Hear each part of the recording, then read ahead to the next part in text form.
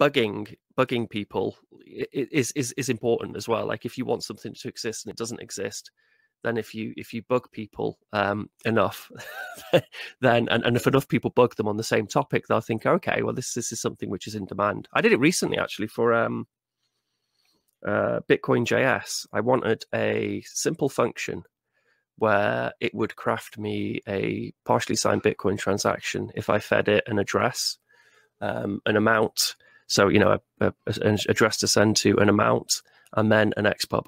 So I give it my XPub, I give it an amount, and I give it uh, an address to send to, and then it will build me a PSBT, um, which I can then just take off and then go sign on my hardware device, and then um, um, launch the you know publish the transaction. Uh, but that function just didn't seem to exist, and I, I, thought this is really useful for developers, and I actually need it as well. So I, I just went on a bit of a, a, campaign for about three or four days, bugging people, um, and then actually chucked some sats into a bounty for it because I, I, thought, okay, I really want that. You know, I can't do this myself, but if someone else could make it, that'd be great.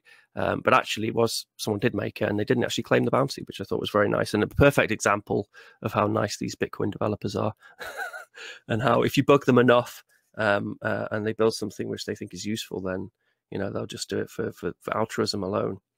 Um, but yeah, Nopara, he's uh, I bet he's very patient with uh, with everybody down in Wasabi. No, he just keeps telling me that my feature requests are impossible. I like it. Yeah.